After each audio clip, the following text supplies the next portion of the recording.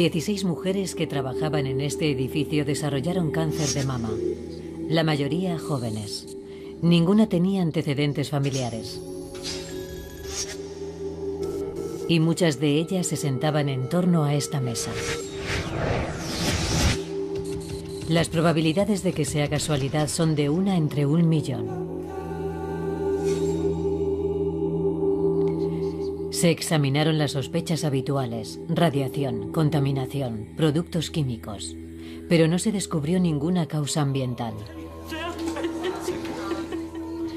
El edificio fue evacuado en diciembre de 2006.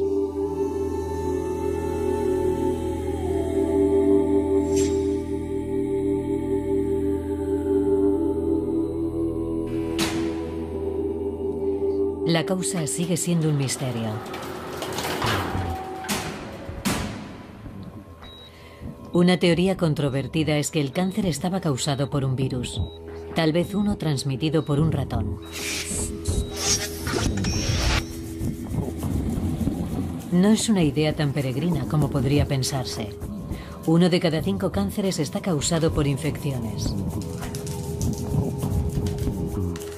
Y están surgiendo pruebas de que podrían ser más. Algunas de las principales causas podrían deberse a virus y bacterias. Confío en que cuando tengamos toda la información sabremos que más de la mitad de los cánceres están causados por infecciones y sospecho que podría ser hasta un 90 o un 95%. Por terrorífico que pueda parecer, encontrar una causa oculta como un virus no es una mala noticia. Al contrario, es un motivo de esperanza.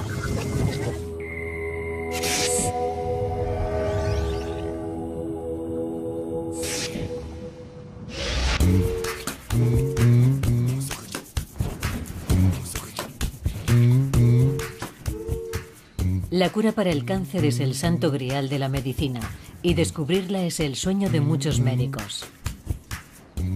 Saber cuál es la causa del cáncer permitiría detenerlo antes de que empiece la dura batalla contra la enfermedad.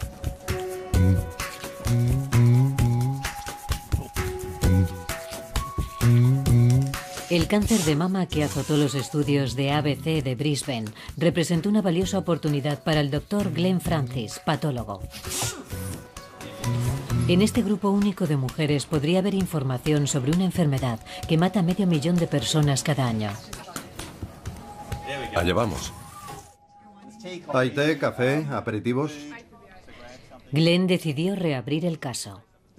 Sin duda, esta concentración de cánceres es una de las más extraordinarias de Australia y puede que del mundo. Las probabilidades de que sea casualidad son ínfimas. Es extraordinario. La pregunta es, ¿cuál es la causa? Durante un periodo de unos tres años hubo una rápida sucesión de casos en mujeres. Creo que fueron siete en tres años.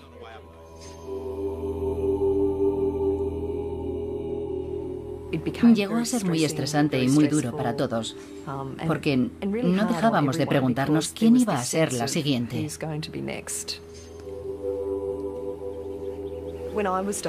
Cuando me lo diagnosticaron, todo mi mundo se vino abajo. Yo era una mujer sana de 35 años, con dos hijos preciosos y un trabajo que me gustaba. Y de repente me dijeron que probablemente no viviría para ver crecer a mis hijos. Durante varios meses, lo primero que pensaba al levantarme era, Dios mío, tengo cáncer. ¿Cómo ha sucedido? La incidencia de cáncer de mama era seis veces la que indicaban las estadísticas habituales, lo cual era muy significativo. El profesor Bruce Armstrong dirigió la investigación inicial en las instalaciones de ABC. No hemos encontrado una explicación satisfactoria del aumento del riesgo. Es decir, que nos enfrentamos o bien a un misterio, a algo para lo que no tenemos respuesta, o bien a una simple casualidad.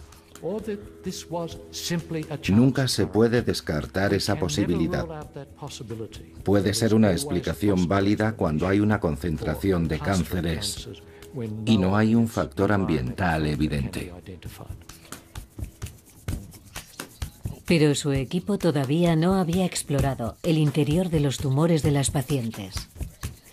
El cáncer de mama no es una enfermedad única, son diferentes enfermedades localizadas en el tejido mamario y menos del 10% de estos cánceres son hereditarios. Sobre el otro 90% conocemos los factores de riesgo, pero no la causa. No podemos hacer nada sin ustedes. Necesitamos su participación, muestras de tejido en este caso. Glenn y su equipo estudiarán el interior de los tumores para buscar virus. ¿Alguna pregunta? Es una idea polémica. No está claro si los virus son la causa del cáncer de mama. Y esta idea sigue siendo muy controvertida, pues los dos bandos tienen opiniones muy firmes. No hay que cerrarse a ninguna posibilidad. No sabemos qué causa el cáncer de pecho, que es una de las principales causas de muerte de mujeres en todo el mundo. Hay que estar abiertos a cualquier posibilidad. Y Glenn no está solo. Hay otros investigadores en todo el mundo que creen que seguir el rastro de las infecciones puede transformar el futuro del cáncer. Una de cada tres personas sufrirá algún tipo de cáncer a lo largo de su vida. Desde el momento del diagnóstico, la pregunta habitual es, ¿por qué a mí? En Londres, el profesor Mel Grips ha dedicado décadas a investigar por qué se forma un cáncer y cómo puede estar implicado un virus. Me llama la atención una idea muy extendida desde hace años sobre las causas del cáncer. La expectativa de que exista una causa única del cáncer. Es muy interesante desde el punto de vista psicológico. Creo que refleja un deseo humano natural y comprensible, aunque me temo que erróneo, de encontrar un culpable. Una causa, un enemigo externo. Hay que poder echarle la culpa a alguien. Una idea simplista. El cáncer no funciona así. Comprender el papel que representa un virus nos ayuda a descubrir cómo nace un cáncer. En parte es como una lotería.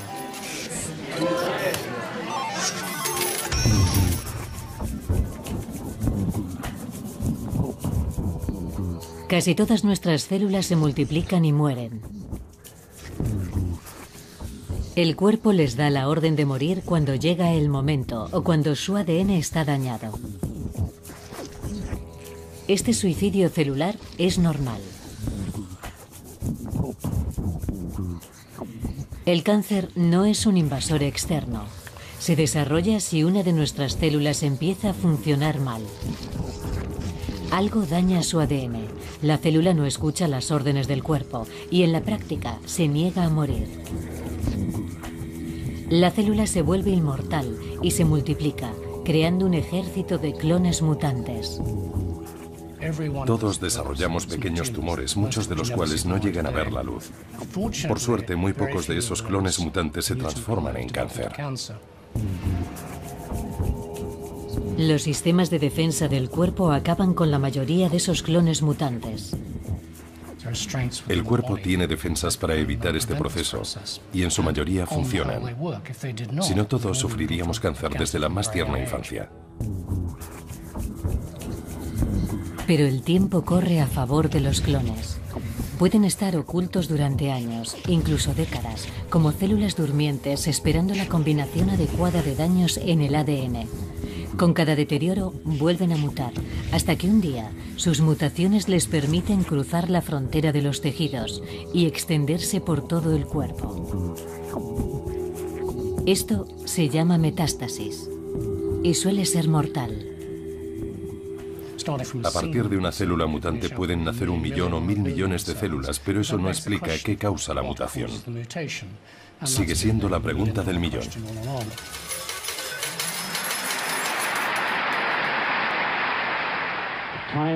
En Estados Unidos ha llegado el momento de que la concentración de esfuerzos que logró dividir el átomo y llevar al hombre a la luna se dedique a vencer esta terrible enfermedad. En los años 70, dentro de la guerra contra el cáncer de Nixon, se gastaron millones de dólares en buscar causas víricas. Se encontraron algunas, pero en general los resultados fueron decepcionantes.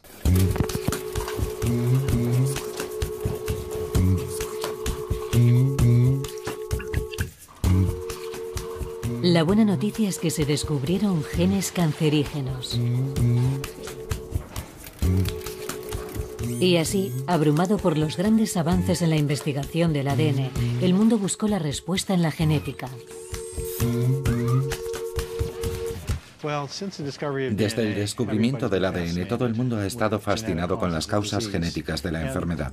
Sabemos que los genes causan algunas dolencias, pero creo que si observamos lo que sabemos sobre las causas del cáncer, estamos subestimando la importancia de las infecciones. Creo que hemos descuidado esa posibilidad.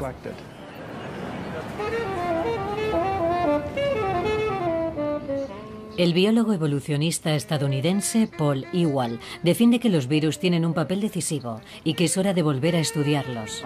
Sospecho que tienen un papel muy importante porque al parecer en muchos cánceres el proceso comienza a partir de una infección. Un tipo de cáncer ha obligado a replantearse la cuestión, el cáncer de cuello de útero.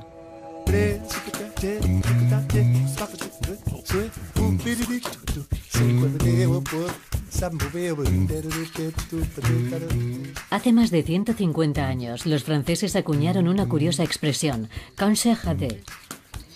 Se refiere a la aparición simultánea de cáncer en el cuello del útero de la mujer y en el pene del hombre, normalmente en una pareja casada. Se sospechaba la causa.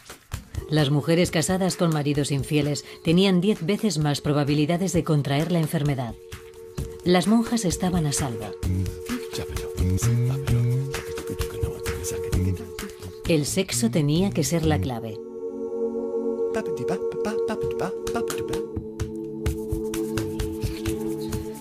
En Alemania, en los años 70, el profesor Harald Surhausen logró resolver el rompecabezas. Hay un virus que causa verrugas genitales, llamado virus del papiloma humano o VPH. Él sospechaba que podía estar detrás del cáncer cervical, pero la comunidad médica rechazó su propuesta. No solo fue recibida con escepticismo, sino incluso con un cierto grado de hostilidad por parte de algunos de los participantes.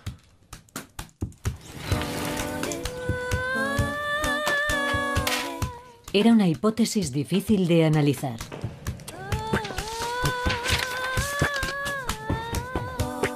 Estudió los tumores de sus pacientes buscando pruebas del virus, pero era difícil de aislar y aún más difícil de extraer. Progresábamos lentamente, sobre todo en los años 70, cuando teníamos dificultades para purificar los virus. Lo necesitábamos desesperadamente para demostrar nuestra hipótesis. Debo reconocer que en ocasiones me sentía muy frustrado. Pero no se rindió. Tras 10 duros años, su equipo logró aislar dos tipos de virus, el VPH16 y el VPH18. Con esos dos virus en la mano teníamos casi un 70% de positivos en las biopsias, lo que cambió por completo la situación. Distribuimos las muestras por todo el mundo y pronto se confirmó nuestra hipótesis. Se confirmó que el VPH16 y el VPH18 eran carcinógenos y podían transformar células sanas en cancerosas. A partir de ese momento, las pruebas de que el virus era la causa fueron cada vez más sólidas. Aunque las dudas entre la comunidad científica duraron un tiempo, por supuesto.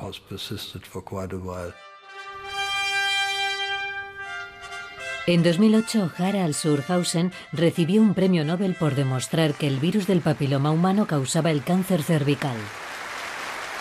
Le había costado más de 30 años.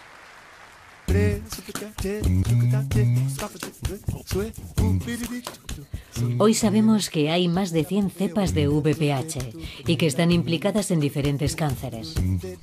También sabemos que se expanden por vía sexual. Por fin se encontró el vínculo.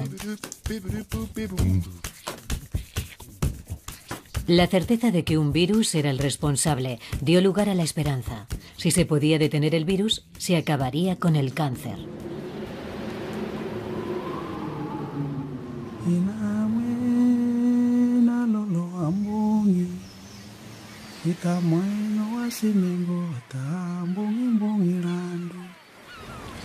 Vanuatu, un lugar paradisiaco.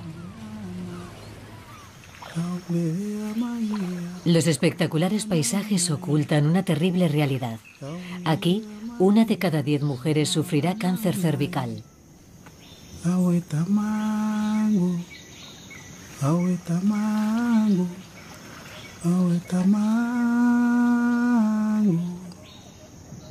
Marie Galep tiene 45 años. Se está muriendo de cáncer cervical.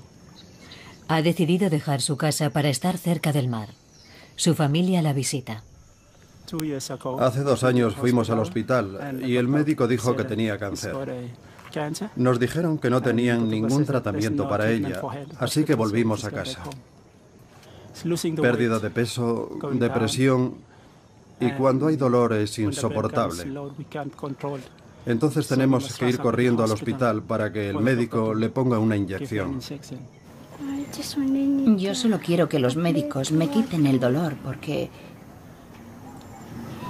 cuando me duele es insoportable.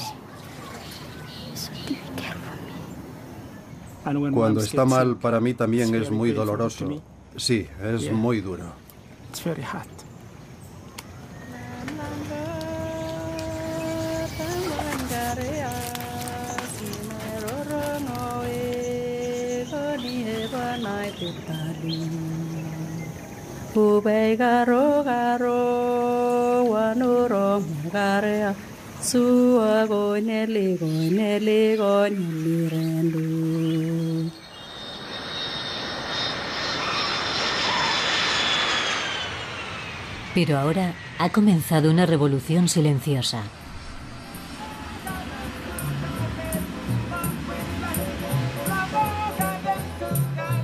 El profesor Ian Fraser y su equipo australiano, en colaboración con investigadores de todo el mundo, han desarrollado una vacuna para acabar con el VPH. Tardaron 15 años, pero el resultado fue la primera vacuna desarrollada para prevenir un cáncer. El cáncer de cuello de útero mata a medio millón de mujeres al año en el mundo y como es una enfermedad infecciosa, podemos decir que se trata de una epidemia. Si cualquier otra infección estuviese acabando con la vida de tantas mujeres al año, habría un clamor popular para pedir una solución.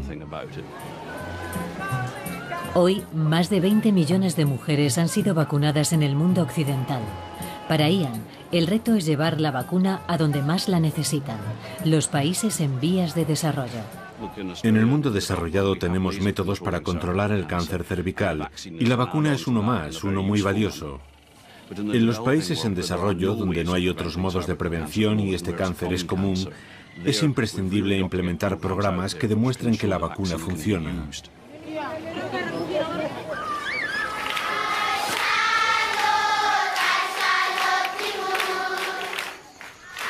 Hoy es el primer día de vacunación.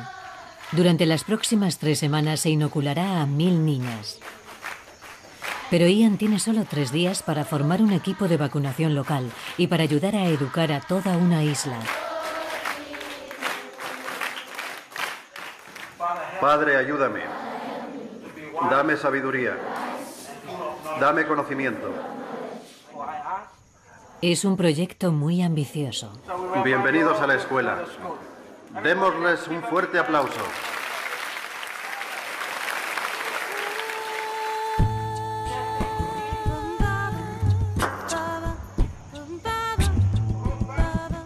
Cuando se introduce una nueva vacuna, al principio nadie sabe en qué consiste. Uno de los problemas es explicar que no basta con vacunar a las mujeres antes de que contraigan el cáncer. Hay que hacerlo antes de que se vean expuestas a la infección que causa el cáncer. La mayoría de estas infecciones se contraen por vía sexual. Eso significa que tienen lugar durante la juventud. Otro problema es asegurarse de que las chicas acudan tres veces a vacunarse y explicarles que no estarán protegidas si no reciben tres dosis de la vacuna.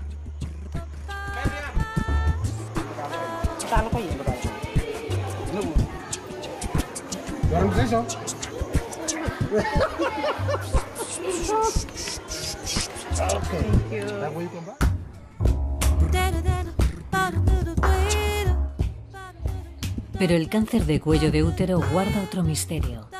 Alrededor del 80% de las mujeres de todo el mundo sufren infecciones por el virus del papiloma humano, pero solo el 2% llega a desarrollar un cáncer. La mayoría sufre la infección durante un par de años, pero no sabe que la tiene. Es una infección asintomática y el propio cuerpo la elimina. Pero en el 2% menos afortunado la infección continúa y acaba por alterar las células afectadas. Cuando el VPH infecta una célula, manipula el sistema de supresión de tumores de nuestro cuerpo. Entonces, el organismo envía un equipo de reparación. Si no se puede recuperar la célula, se le ordena morir.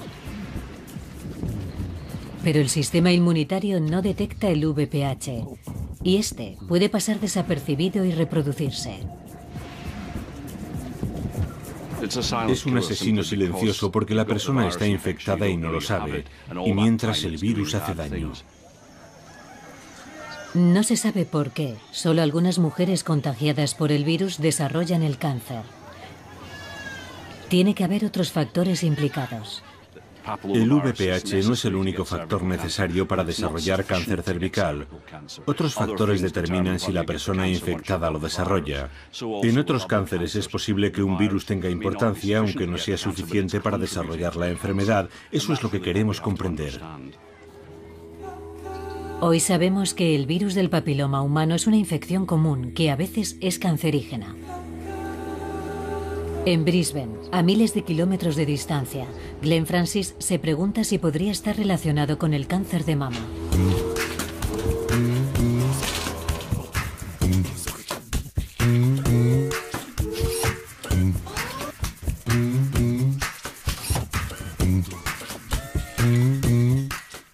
El virus del papiloma humano es interesante porque ya se ha asociado con el cáncer de cuello de útero. Por eso tiene sentido buscarlo en los tumores de estas pacientes. Además es un virus común, así que es un candidato claro para aparecer en los cánceres de pecho. No sé qué probabilidades hay, pero estoy abierto a la posibilidad de que esté relacionado. Sería muy positivo encontrar alguna relación. Daría respuesta a muchas preguntas.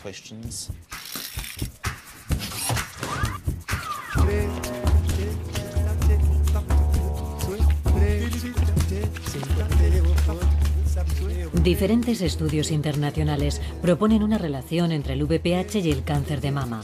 Muchos están patrocinados por el profesor emérito James Lawson de Sydney.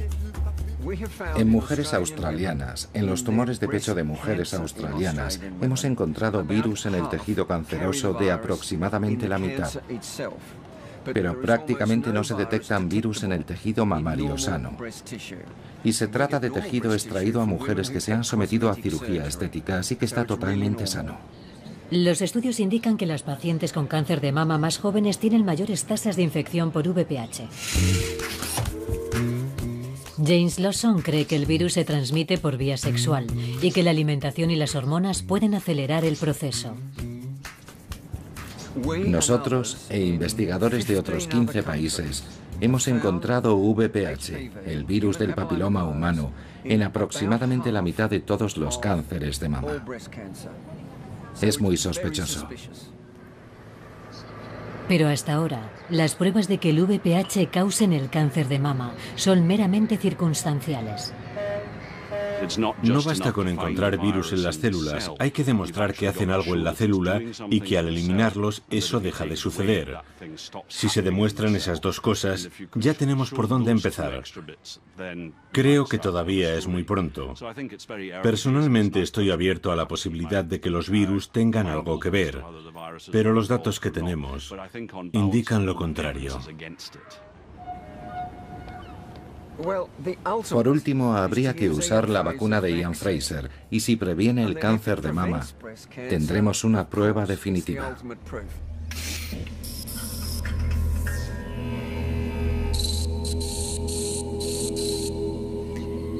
Pero el VPH no es el único sospechoso de causar cáncer de mama. Hay otro posible culpable, un virus que transmiten los ratones.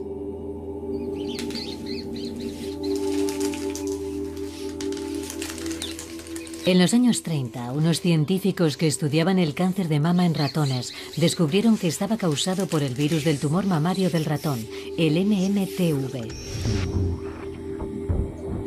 Es un virus muy dañino que se introduce en células sanas y corrompe el ADN.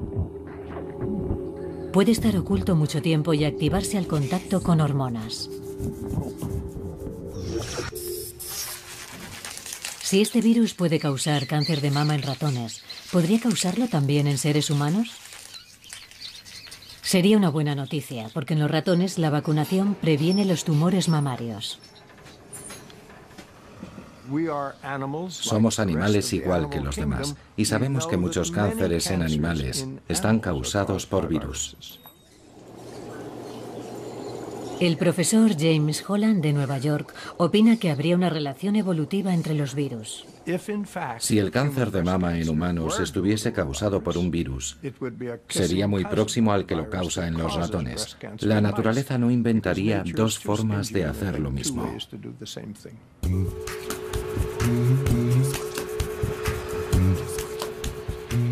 Trabajando con la oncóloga Beatriz Pogo, el equipo encontró MMTV en el 38% de los cánceres de mama en humanos. Después aplicamos las técnicas de amplificación del ADN, del ADN humano específico del cáncer de mama, y obtuvimos la secuencia viral completa, que es idéntica a la del virus del tumor mamario del ratón en un 95%. También tenemos imágenes y podemos cultivarlo. Además, lo hemos utilizado para infectar células mamarias normales. No encontraron MMTV en el tejido mamario sano. Esto nos permite suponer que no está presente en el tejido sano y sí en el tejido canceroso. Las mujeres que tenían esas secuencias en el cáncer las habrían adquirido. Estamos abriendo la posibilidad de que las mujeres podrían contagiarse de cáncer de mama.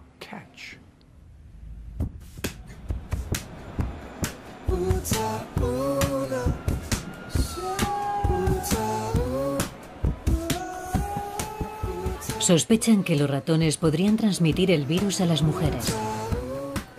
Todas las mujeres han visto ratones. Los ratones están en contacto con nuestros alimentos. Todos los países civilizados admiten que hay un cierto nivel de contaminación de cereales y otros alimentos.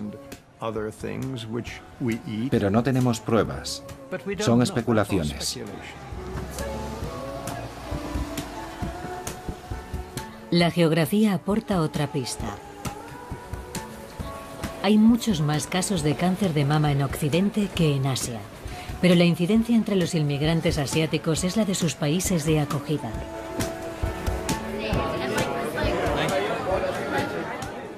James Holland cree que esto puede no deberse solo a los cambios en la dieta y a los niveles de hormonas, como muchos expertos creen, sino también al contacto con el MMTV. Unos investigadores canadienses han elaborado un mapa de los países con mayor densidad de cáncer de mama y otro con la distribución mundial del ratón común, Mus domesticus, uno de los principales portadores del MMTV. La correspondencia era evidente. Los ratones llegaron en barco desde Europa Occidental a las colonias europeas como Australia. Tal vez llevaron consigo el virus del tumor mamario del ratón, que podría ser un factor infeccioso relacionado con el cáncer de mama. Nos estamos centrando en ese aspecto porque creemos que ahí encontraremos la respuesta.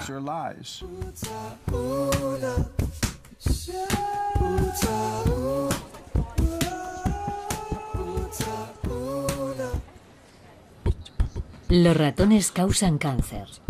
Algunos, como el profesor David Bo, biólogo molecular, no están convencidos.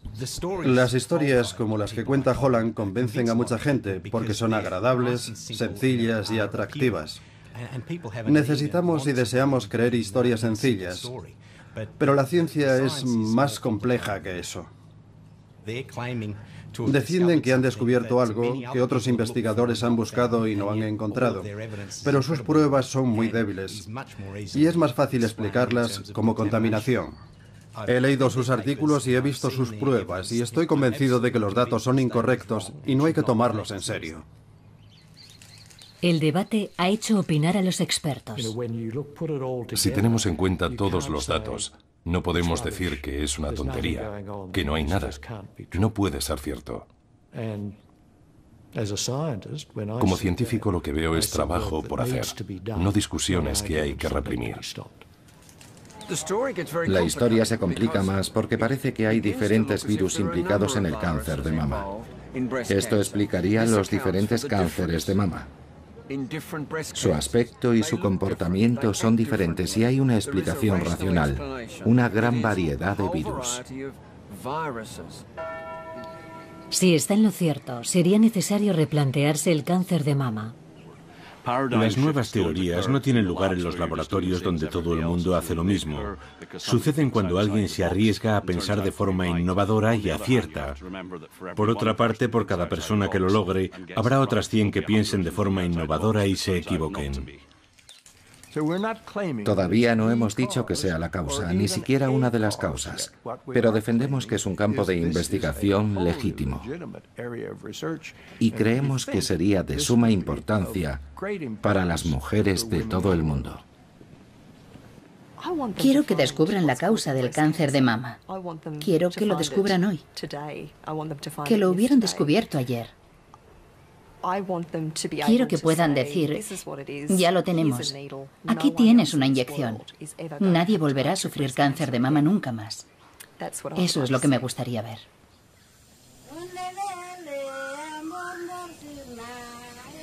Pero acabar con el cáncer es un desafío. Es el segundo día de vacunas en Vanuatu y el equipo de Ian Fraser viaja a una escuela remota en un extremo de la isla principal.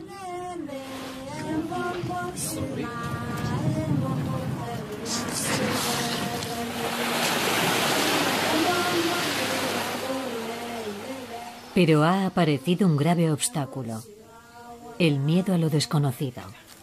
La comunidad no tiene claro que quiera vacunar a las niñas. Las revisiones y la vacunación pueden salvar la vida de madres como ustedes. Es muy importante proteger a las madres del futuro. La vacuna contra el cáncer cervical extenderá el SIDA en Vanuatu. No tiene nada que ver con el SIDA. En las escuelas siempre decimos que la vida es lo más importante. Esta vacuna protegerá a sus hijas contra el cáncer cervical. Hasta ahora, más de 20 millones de mujeres han recibido esta vacuna en todo el mundo y es más segura que la mayoría de las vacunas. Menos de un caso por millón sufre una reacción alérgica. Si la vacuna es segura y parece que funciona, ¿por qué no vacunarse? Pero la comunidad no está segura. Hoy no continuará el programa de vacunación. Es normal que la gente tenga dudas, sobre todo cuando aparecen tres grupos de personas en coches alquilados con mucho dinero y dicen esto es bueno para vosotros. Lo lógico es preguntarse por qué nosotros, por qué aquí, por qué ahora. El deber de la comunidad es hacer esas preguntas.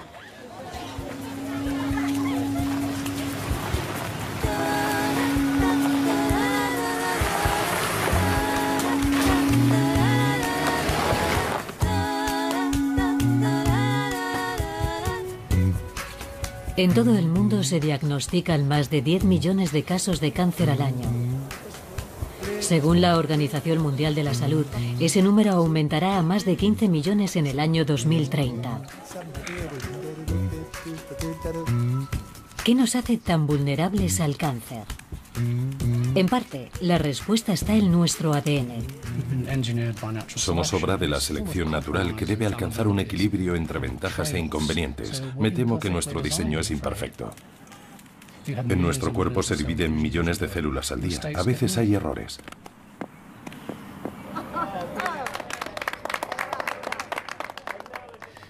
Lo más interesante es que si no hubiera errores no se produciría evolución y no existiríamos. Por eso se permite un cierto margen de error. Estamos programados para cometer errores. Nuestra capacidad de modificar el ADN es una ventaja, pero algunos factores pueden influir en el ADN y hacer que aumente la tasa de error.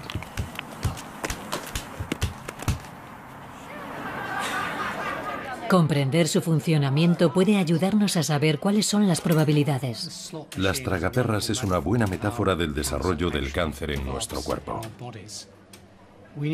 Para desarrollar cáncer debe darse una serie de mutaciones. No conocemos la cantidad exacta, está entre 3 y 12, pero para seguir con la idea de las tragaperras, digamos que son 4, y tirar de la palanca es un factor de riesgo. Vamos a jugar. Este es el fondo genético que heredamos de nuestros padres. No podemos elegirlo. Una tirada más. Ha salido un as. Esa es una mutación. Mala suerte. La próxima tirada es una representación del estilo de vida. Podría ser la dieta o el ejercicio que hacemos, por ejemplo. En este juego de azar, cuanto más tiempo sigamos jugando y más veces tiremos de la palanca, más probable será encontrar un as, es decir, sufrir una mutación. ¿Ha salido otro as? Una variable importante es una infección con un virus capaz de causar cáncer. Ahí tenemos la infección vírica, tres ases. La cosa se está poniendo fea. Es posible desarrollar un cáncer, pero todavía falta algo.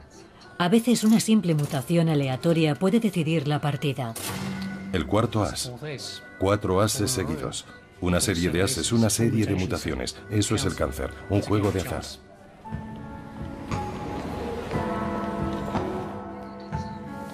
Otro ejemplo de los requisitos para contraer cáncer lo encontramos en la leucemia infantil.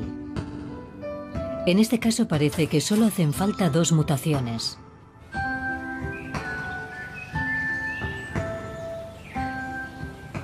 Este es Joe.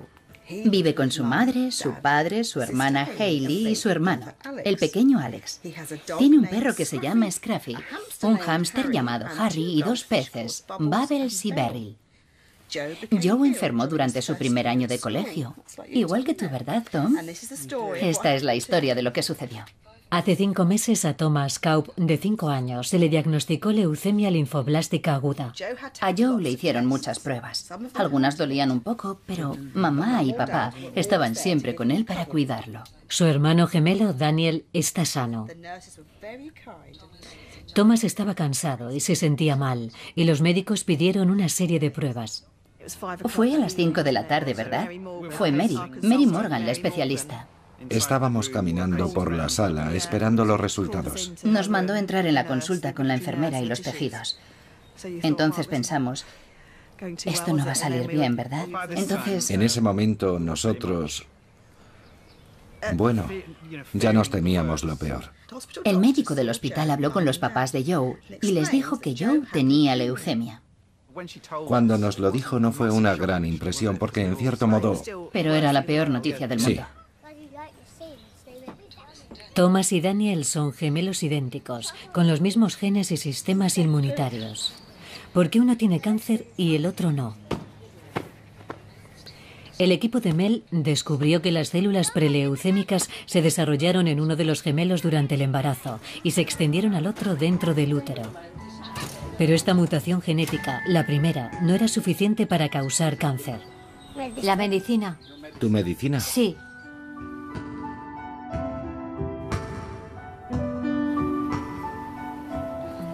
Las siguientes pruebas revelaron que las células madre de la sangre de Thomas tenían otro defecto que las hizo mutar de células preleucémicas a leucemia. ¿Fue ese segundo fallo del ADN el que activó la enfermedad? Bueno, esto es un debate que todavía no se ha resuelto. Una pregunta muy importante. Creemos que el segundo fallo está causado o más bien activado por una infección. No pensamos en una infección específica, sino una de una serie de infecciones víricas o bacterianas que pueden activar una respuesta anormal en la médula y hacer que las células dañadas se transformen en células de leucemia.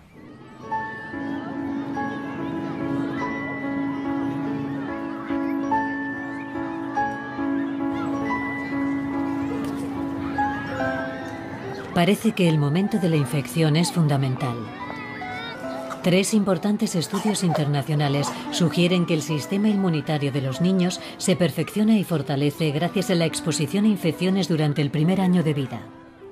Descubrimos que había una relación con el contacto con otros niños. Cuanta más exposición, menos leucemia linfoblástica habrá. Es un resultado muy positivo. Si el contacto con otros niños sirve para proteger, no se me ocurre nada más que una infección. Saber que la leucemia está causada por al menos dos fallos en el ADN es muy útil. Daniel, el gemelo sano, sufrió la primera mutación genética en el útero. Ahora los médicos están preparados si se declara la enfermedad. Nos tranquiliza saber que le están haciendo pruebas, porque si contrae la enfermedad, Dios no lo permita, el diagnóstico será muy rápido y el tratamiento podrá empezar cuanto antes.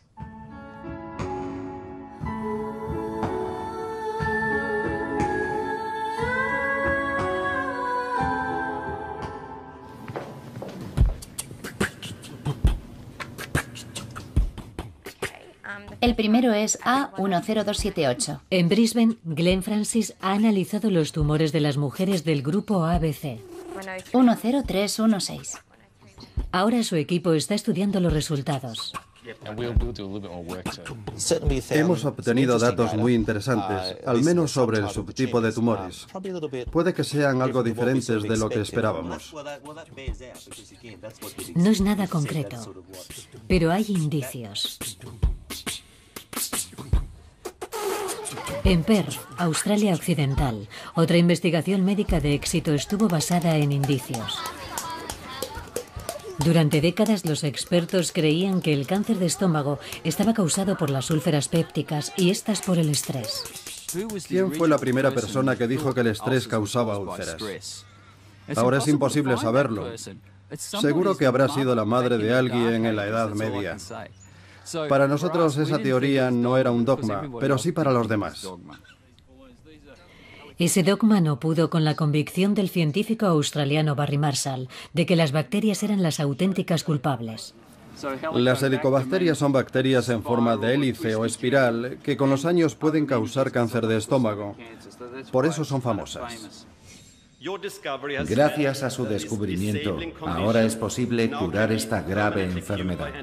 Ha beneficiado a millones de enfermos. La tenacidad de Barry Marshall y su colaborador, el doctor Robin Warren, les valió un premio Nobel. Tardaron 20 años en demostrar su teoría. Como en el caso del cáncer cervical, muchas personas sufren la infección, pero pocas llegan a desarrollar cáncer. Y el cáncer se produce varias décadas después de la infección. Para resolver el misterio hay que descubrir el factor esencial que todos los casos comparten. De lo contrario, estaríamos siguiendo pistas falsas. Una vez más, estos científicos estaban desafiando los conocimientos aceptados en su tiempo. Mucha gente olvida que en su momento se burló de la idea de que este organismo espiral, la bacteria Helicobacter pylori, pudiera causar úlceras pépticas. Y tal vez olvidan que se burlaron de que un virus pudiera causar el cáncer cervical.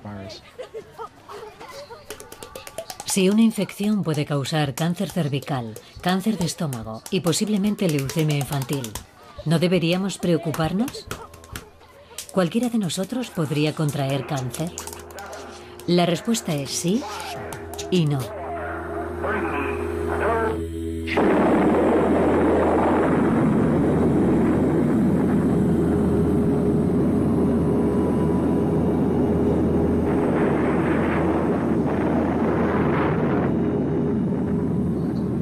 La bomba atómica sigue siendo el mayor ataque al ADN humano creado por el hombre.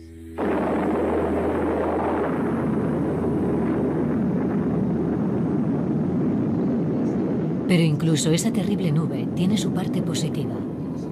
Sorprendentemente, los estudios demuestran que aunque el ADN de los supervivientes está dañado, la mayoría no ha desarrollado cáncer. Ni siquiera este grave ataque al ADN fue un factor suficiente por sí solo. Las consecuencias no fueron tan graves como podría esperarse dada la gravedad de los daños.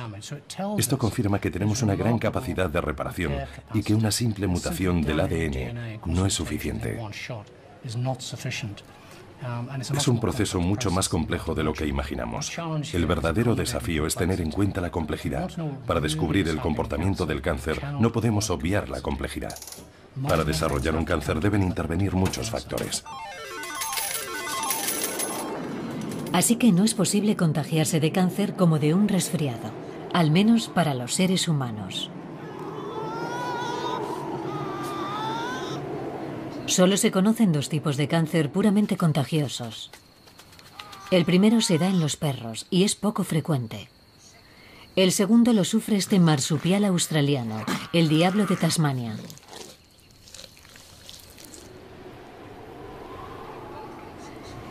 En ambos casos, el propio cáncer es el agente infeccioso. Ha evolucionado para superar el sistema inmunitario del animal. Por suerte, los cánceres humanos no se comportan así. Hay alguna excepción, pero es poco frecuente. En general, tenemos que tener en cuenta que el cáncer no es una enfermedad contagiosa. El cáncer de otra persona no puede contagiarnos porque nuestros mecanismos de defensa nos protegen. Pero sí podemos adquirir infecciones capaces de activar un cáncer, y de hecho lo hacemos.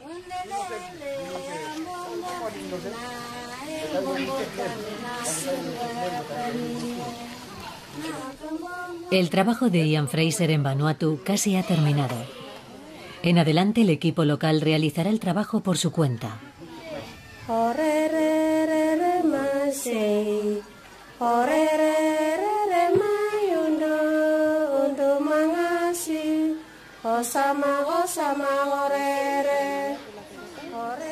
Desde que se descifran sus misterios bajo el microscopio hasta que se distribuye una vacuna, erradicar una enfermedad grave requiere dedicación, dinero y, como el cáncer, mucho tiempo. Si la infección que causa el cáncer cervical se contrae en la juventud y los cánceres tardan unos 20 años en desarrollarse, no veremos los resultados del programa de vacunación hasta dentro de unos 20 años.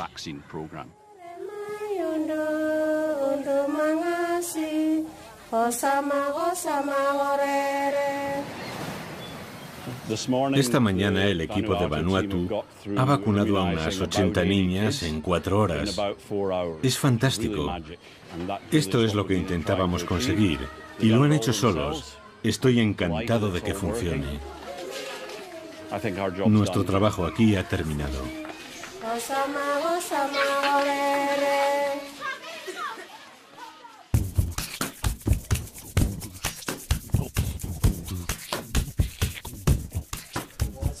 Me gustaría informarles sobre el progreso de la investigación del grupo ABC.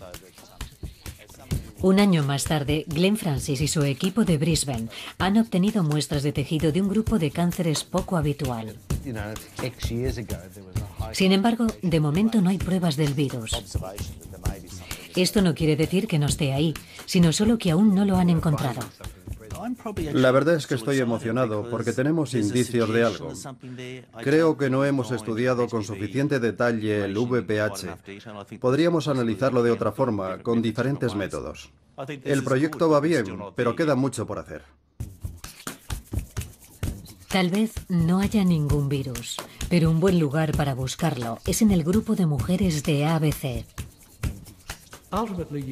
No podemos ignorar estas agrupaciones, porque algún día aparecerá algo importante.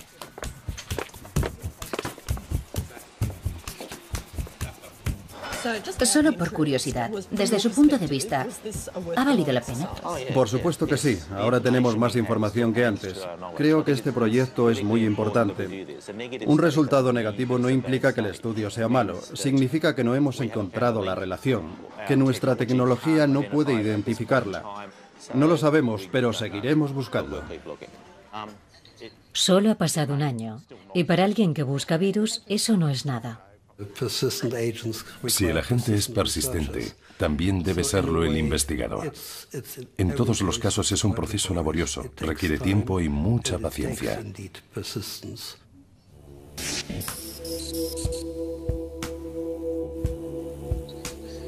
Las infecciones activan el 20% de los tipos de cáncer como estos y les permiten cobrar vida.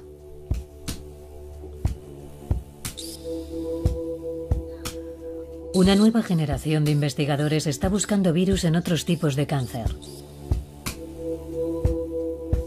Las nuevas vacunas son buenos incentivos.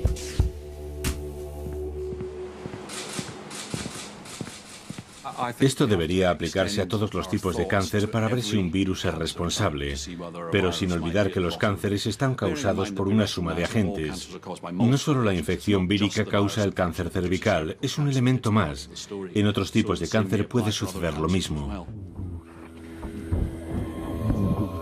A medida que sabemos más cosas sobre el cáncer, se va revelando la relación entre genética, estilo de vida e infecciones.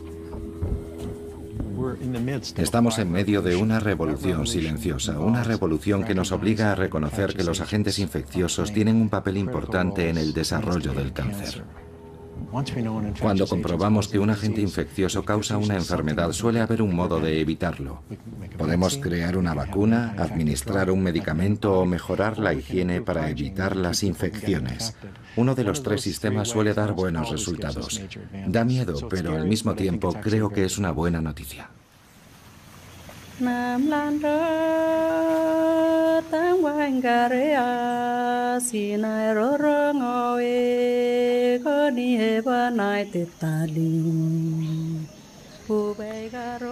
Tres días después de la partida de Ian Fraser, Marie murió.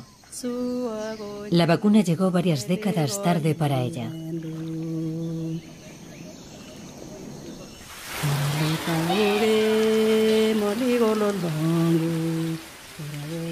Pero puede que estas niñas no tengan que preocuparse nunca por el cáncer cervical. Están deteniendo el virus que activa el cáncer. Descubrir que un virus es la causa no es motivo de pánico.